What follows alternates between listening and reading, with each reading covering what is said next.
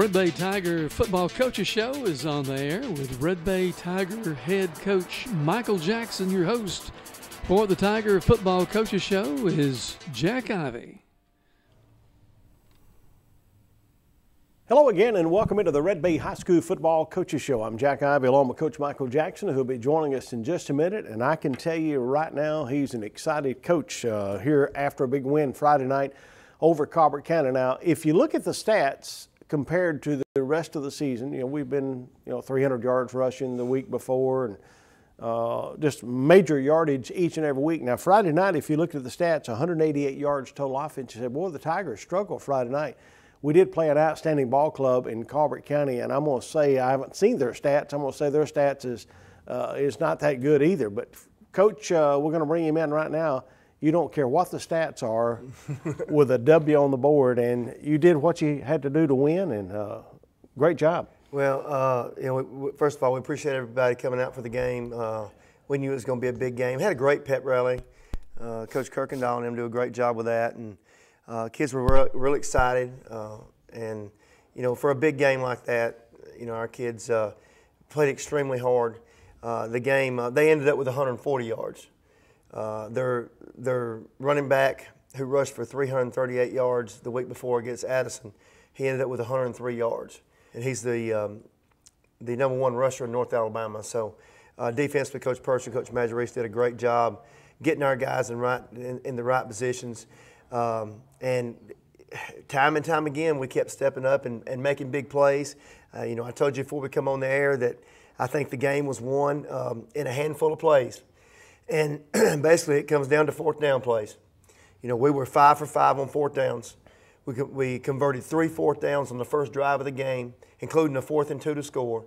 In the second half, we had a fourth and one where we scored a touchdown pass. And then the last play of the game, a fourth and two to run the clock out. Uh, defensively, we stopped them twice on fourth down, uh, which was big right there at the end of the game. Uh, on the 20 yard line, we come up big there and, and, and stopped them. And uh, Alex Kennedy made a big play on uh, a fourth down in the third quarter to get them stopped. And then we stopped them right before the half. They got down to the one yard line and um, uh, they decided to run an ISO play at Cam McKinney. And that's probably not a good idea for you. And we stopped them and the clock ran out. So I, I think those, those plays you know, mixed in with us not letting them outside and kind of, you know, we was really worried about their speed. Uh, but I think those plays are, are, the, are the major factor in the game. Uh, but a great overall effort by our offensive line, of course, blocked really well all night. Our running backs, Kobe, run good. Uh, we had a big pass play there by Kobe Bragg. Uh, he played an outstanding game on defense. So it was just uh, probably the, the best effort um, team wise that, that I've seen from us in, in years as far as everybody being right on point. Of course, if you hadn't had a chance to watch the replay, you need to watch the replay, and especially after the game, the post-game talk with uh, Coach Jackson, talking to the guys, and also talking to Keith. Uh, Coach, you were kind of pumped up after that game, and uh, yeah, I got to keep remembering we got cameras there. Sometimes I forget that. And microphones, right? Uh, microphones too. Microphones yes. too. Microphones normally is worse than cameras and stuff, but Coach, I will tell you this: that you did scare me to death going for it on fourth down. uh, I'm hoping coach is knowing what he's doing right here, and uh, that's one of them. Uh, uh as you said, you know, you, are doing what you do to keep the ball out right. of the other guy's hands when they've uh, got a lot of speed. But it was just an outstanding effort. Uh, Red Bay Tigers winning over Colbert County by a score of 12 to seven. I got one other question: If you had surveyed everybody in the stands I don't know how many, of course, hopefully all of them would believe the Red Bay Tigers was going to win, but on paper and the way everybody was talking in the media right. and the sports world out there, they was not giving us as much a chance. Right. Well, you know, they were a top 10 team. Um, they're one of the uh, best known programs in North Alabama as far as uh, through the years.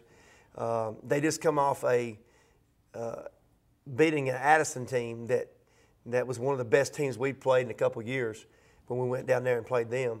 Um, just just running the ball up and down the field with 500 yards offense on them. So uh, that's kind of plays into it. You know, all the people over the uh, Times Daily covering area, they all six, we were, we were one of the top five games, and they all six picked against us. And I reminded them, them of that after the game, too. Um, So you know, not many people gave us a chance, but the guys in the locker room, and that's that's really what it comes down to. That's where it came. Let's go to the highlights of the game. Once again, the Red Bay Tigers, uh, big victory, 12 to seven. And uh, coach, uh, your captains for this week. Tanner, uh, Engel, Noah, and uh, and Bragg. I think that little senior group right there has done a really good job uh, pulling everybody together. Not a very big class, and um, a couple of those guys have just come back out. Uh, didn't play uh, for a couple years there. What's your strategy on getting guys out of the study hall, or maybe getting them back out, or maybe even getting them out first well, time? it's it's used to be easy. I would uh, it's it was easy to talk them into it. Now it's getting a little harder. uh, the kids got so much things going on now, Right. and and football uh, is it, it's it's time consuming. It takes a lot of time, and we, we, we put a lot of time into it, and uh, so you've got to really you've got to really want to be out there and crave that atmosphere uh, to really want to uh, be a part of it.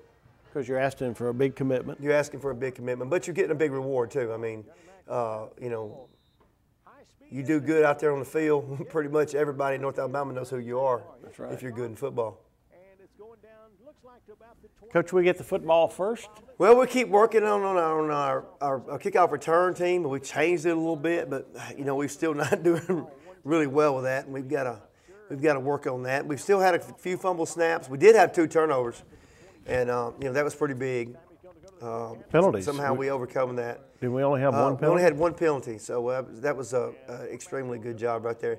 Uh, Kobe ran hard all night. This is uh, he made a bunch of runs like that right there that got us five or six yards, and we go for it on fourth down. Um, maybe not on this on this play, but yeah, I guess it was on this play. We go for it on fourth down right here. Well, this is the same play he ran on the on the third down at the end of the game to get us fourth and two because it was actually second and eight, and and we wouldn't have been able to go for it if it was any more than two yards. right. So uh, great catch right here.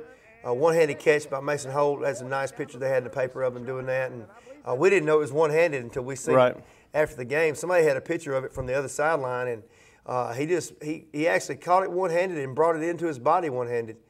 Uh, they were extremely quick uh, in the secondary. Number threes uh, got a lot of speed, and you see he picked off a pass on us, uh, and he just made a great break on it. Uh, but them guys were really, really strong back there. Linebackers were extremely strong. You see how close they are to the line.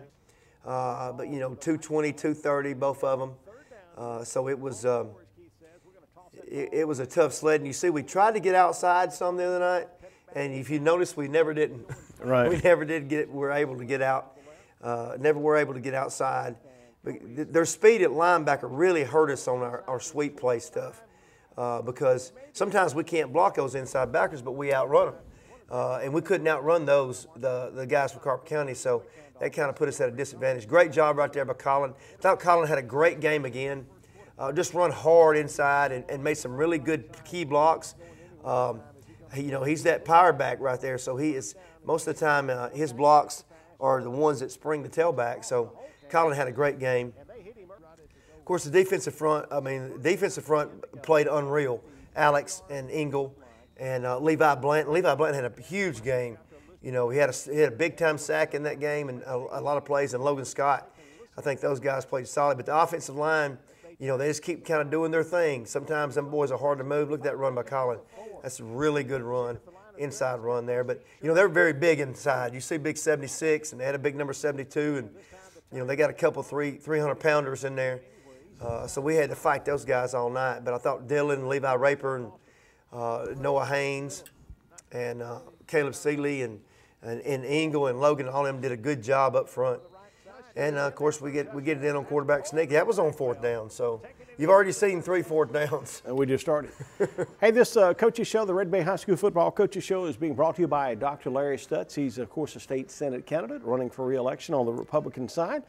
So when you go to the polls, don't forget to vote for Dr. Larry Stutts. And also, Dr. Uh, not Doctor, but uh, Mr. Robert Aderholt. Uh, he is, of course, in the 4th Congressional District, wanted to help sponsor the Coaches Show. And Mr. Aderholt, we appreciate you and also Dr. Larry Stutts for making the Coaches Show possible. Coach, we go for two and yeah, we um, you know, they kind of, it's, it's, it's, it's, kind of tough sledding up inside there. You know, we ended up with a 78, pay, uh, 78 yard drive, and I think it was 14 or 15 plays, and kept the ball for right at nine minutes. And that's kind of uh, way we wanted to start the game. Uh, try to put a little pressure on them, make them, uh, you know, they come out here and make two penalties in a row. So, you know, we want to put a little pressure on them, make them try to do something uh, offensively that they're not uh, good at doing. And uh, you know, I think we do a good job on this first drive. They come out and uh, we get them, we get them tackled and get them down here. They they incomplete two passes and we get the ball back.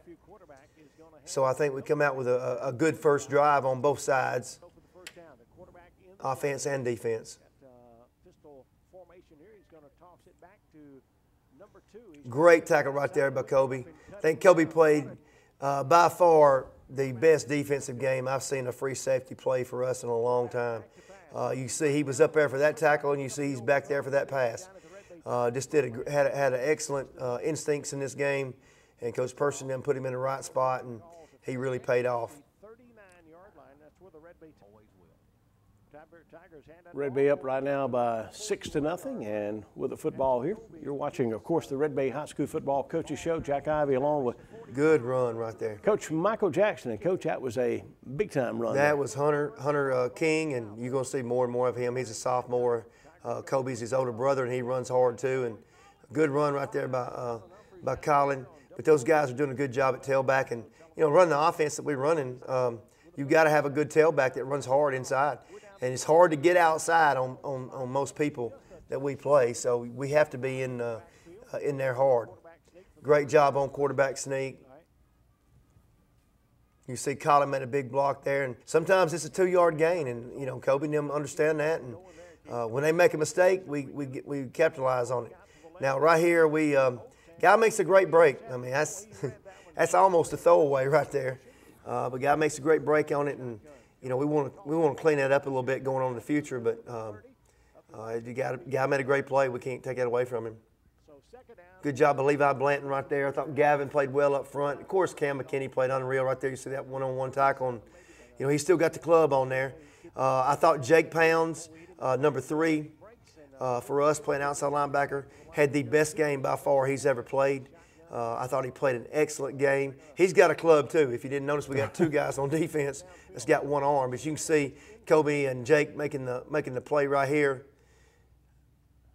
Uh, but Jake made some really big plays in this game at at, at uh, outside linebacker. One at the end of the game there to make him have a third and long, and then uh, great play one time. There's Levi Blanton sack.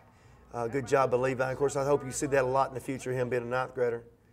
Uh, but uh, Jake made some big plays. There's one on here that you don't even uh, probably see, but the running back cuts back, and if Jake don't make the play, he probably scores. Good job by Kobe catching the fair catch. We kind of overlook that sometimes. Saves a lot of yardage, doesn't Saves it? a lot of yardage, and in years past, we've had a problem with that. right. Uh, if we got somebody back there that can't catch it, we just basically let it go to make sure we get the ball, but we lose a couple first downs every game. You can see Kobe right there on the play, uh, making that play on number four.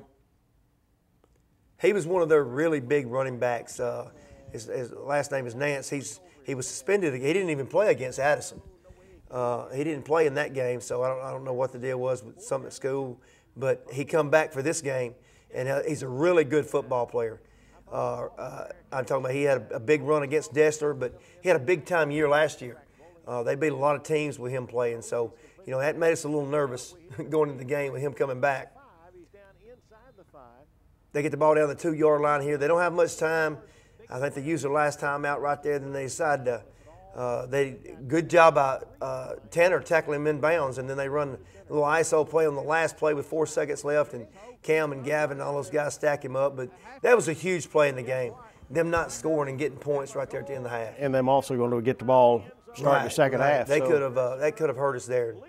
That but took our, a little momentum out right there. I guarantee it. Uh, end of the first half, Red Bay Tigers hanging on to a six nothing lead. And don't forget the coaches show being brought to you by Mr. Robert Aderholt. He's of course, your fourth congressional district candidate and running for reelection. Going to need your support coming up November 6th, and we appreciate uh, Mr. Robert Aderholt.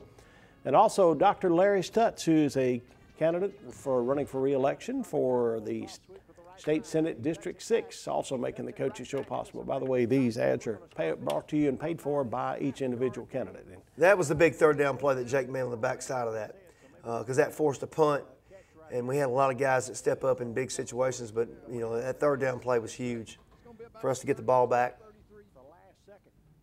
Get the ball in decent field position and good hard run right there by Kobe you mentioned sometimes you get a yard or half yard or two yards, and then the next thing you know, you get a. Well, you, you got them all up on the line. So when you get through there, you know, you got a good chance at it. We got to take care of that ball. I think Colin does a good job of getting back on it. Uh, but, you know, we're trying to get down into a, you know, a third and two, a third and three situation. Uh, get them on a little shift right here. Big time uh, third and five to get us the first down. You got to be disciplined up front, and I'm hoping we're able to do that a little bit more toward the end of the year. Trying to get Colin loose inside there. And one of their players, I'm sure, uh, coach didn't like that. You know, he's when he gets through, he says something to the team there, and yeah, that wouldn't uh, gets an unsportsmanlike. That was that five yarder, and there's a 15 yarder. That's that's a big play right that's there. That's costly. But we'll take it. We'll take it. Hard run right there.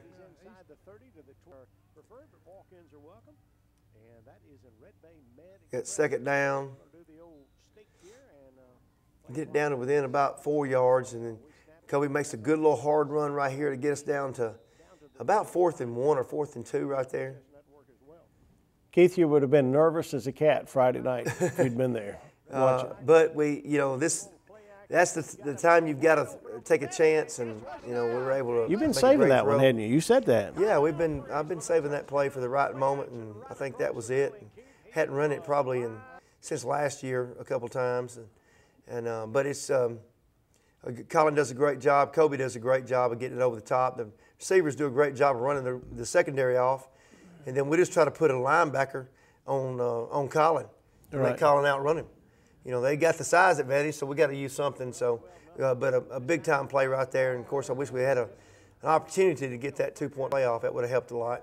Of course, this that's a big play right there by Kobe and Engel. I thought Engel played a great game. Uh, uh, defensively, you can call out about every one of them. I thought Kaiser had a good game uh, in secondary, but you see Jake and uh, and Bragwell making that play at the end of the game there, and we got the ball back, and you know we've got to be able to get a couple first downs. Uh, that was a fourth down play right there. I thought Tanner played a great game too back there, and of course Colin at one corner and Kaiser at the other one. I think we were pumped up. I think uh, Kobe's pretty excited right there.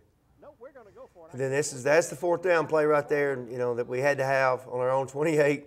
Uh, but we didn't want to give them the ball back. I, I knew it was going to be in uh, with about, with about a minute left, and giving them the ball back wasn't an option.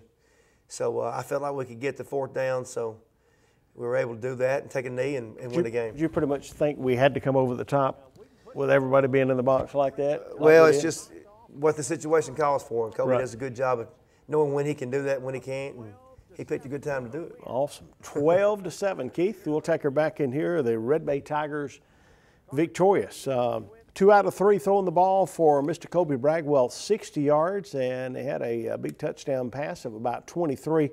And uh, another big pass, of course, uh, the catch of the night. You know, we had the right. catch of the game uh, with, week, yeah. with, Vincent. With and uh, the catch of the game here, uh, you're talking about going into the highlights. Mason Holt, 37 yard, one handed catch. And Colin Humphreys had a nice uh, catch, of course, we told you for 23. So two out of three throwing the football, 60 yards and a touchdown.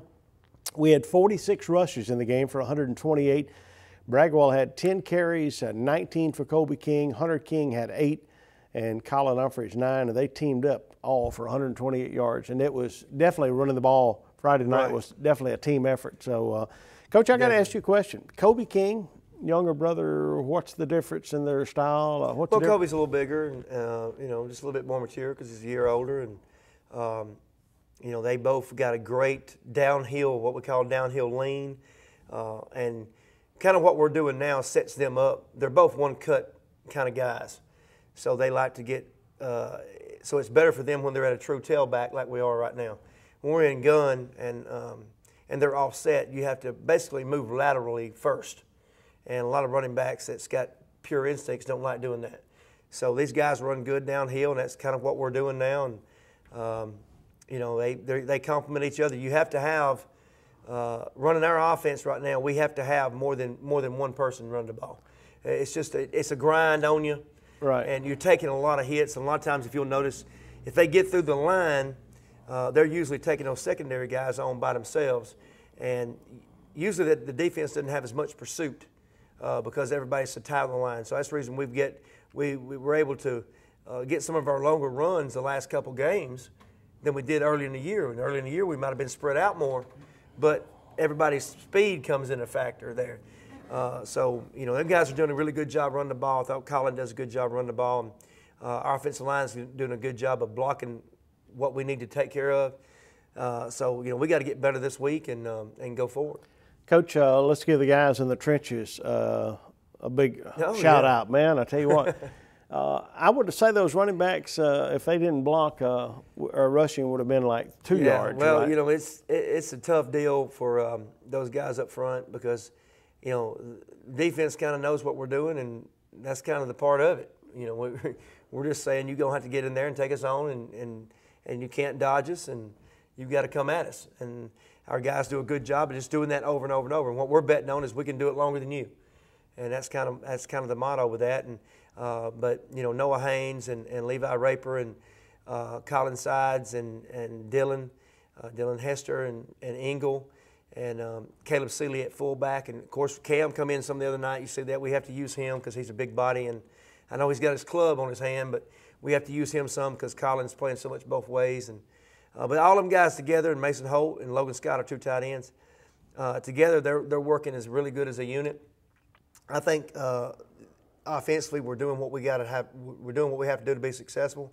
Uh, defensively, I think the last couple of weeks we played eight quarters, six scoreless quarters against two of the better teams in Alabama. I think Coach Purser and Coach Majerus is doing a great job with those guys. We kind of have our front back. You know, we had in the middle of the year there when we struggled a little bit. You know, Alex was out. We had a, a, a tackle playing an end, so we was not um, didn't have all the, the pieces to the puzzle.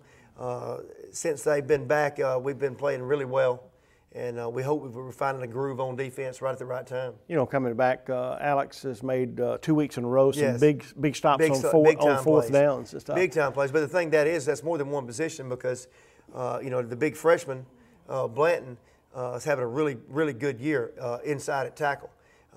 you know, it's harder to play outside when you don't have much experience, and people take advantage of that. So you know, basically we lost two players when we lost that. Right. We lost half half of our line was still inexperienced. So, uh, you know, we're gonna have to have those guys this week. Uh, Tanner's a huge huge deal for us. Um, you know that that put the the region in a three-way tie for first. Puts us in a really good situation to get a home playoff game. But we've got to take care of our part. We can't worry about the tiebreaker factors. Uh, you know, we got to take care of uh, uh, Tanner and Tharptown and Wilson, and that's our part of it. And you know, like I told the guys yesterday um, you know, we got to go to Tanner in tough environment, play a team that's struggled some this year. Uh, they got a good football coach. But they're still Tanner. they're still Tanner. They got a good football coach. I know that because I coached him. Oh my goodness. Oscar Bonds played for me. Right. And uh, he does a great job. Been at Piedmont for 15 years and uh, won some state championships there. So he knows what he's doing. Um, and they got a lot of speed. Uh, so we've got to. Um, they just hadn't put it all together this year. So we got to go take care of that, or the things we've done the last couple of weeks uh, doesn't matter much. So you know that game is uh, the the game with Tanner this week is every bit as much as the one with Colbert County because without the game with Tanner, the Colbert County really doesn't matter. Right. So we hope our guys understand that. We hope we got a good crowd going with us because uh, you know to get a home playoff game and be in a good situation, these guys need some support on the road. Sounds good. We appreciate you joining us for the coaches show today. Once again, a special thanks to Mr. Robert Aderholt, he is, of course, uh, U.S. Congressional District number four there, sponsoring us here, and also Dr. Larry Stutts, who's a state Senate candidate on the Republican side. And, uh, of course, I know they both would appreciate your vote and support coming up on November the 6th. And, and um, Coach, uh, I, I, say Tanner is Tanner. Uh, I love going over to Tanner. They're always very, very nice to us, but they haven't been very nice to us on the scoreboard. uh, they're always hospitable and uh, they do a, uh, do a great job over there. But uh, Uh, the Rattlers, I don't think, have been good to us in any sport since I've been doing Red Bay sports for the last 20 years. Well, I, I, agree with that, and they've got they've got some. They don't have a lot of players. Uh, Coach Bonds is getting some more come out, um, but they got some very talented guys. They got a big receiver. It's about six four. Uh, they scored. You know, they played Addison at Addison last week and uh, went down the field, scored twice in the first quarter on passes uh, basically playing basketball. They got a big dude they throw it to, right. and, and uh, he plays jump ball some, and so they're going to stress certain parts of our of our team, and that puts pressure on the rest of them to make sure we do what we do well, uh, to take that that pressure off because you know I think they're going to throw it 65 to 70 percent of the time, and when you do that, if you if you happen to be on that night and get some good breaks, then uh, you can put some points up in a hurry. So you know we're going to have our hands full going over there. I, I hope our kids, um, I know they'll be excited. The last two weeks, I've never seen them as focused as they are right now uh, on doing something really good with this team and putting us in the best situation we can going into the playoffs. Uh, so, uh, you know, we're excited about it. Sounds good. Coach, awesome job. Guys, congratulations. Uh, awesome job. Uh, you could just tell Friday night when they hit the field that they were focused and uh, wanted to come out there with a big win. And I know that they're going to work hard this week to get ready for those Tanner Rattlers. We'll be there. We'll be on the air about 6:40 with a pregame show. Uh, we'll kick it off at 7 o'clock. And of course, you can listen to it live on 97.9 FM, AM 1430. If you got cable in the Red Bay area, you can listen to it on TV 12. And you can go to our website, WRMGradio.com. Just click on the Red Bay link and listen to it there. And also, you can actually, uh, if we got internet there good, you can watch it live on the NFHS network. And we got some folks out of town watching it there. So, a uh, new little trick we got for you. And also, you can watch the replays, uh, of course, not only of the games, but the coaches show on our YouTube channel. So check that out. So for Keith and our head coach, Coach Michael Jackson, I'm Jack Ivy saying thank you for joining us. We will see you. Now, I'll tell you, I don't want you watching and listening. I want you there, right? Right. Tanner, Alabama. Tanner, Alabama. The Friday pit. Night. The pit. Get there early and uh, make a lot of noise for the Red Bay Tigers as they take on Tanner. Y'all have a good one. We'll see you at the game Friday night.